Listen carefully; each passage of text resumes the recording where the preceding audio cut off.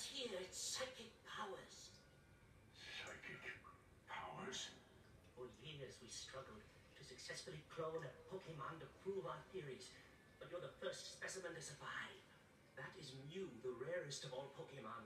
From its DNA we created you, Mewtwo.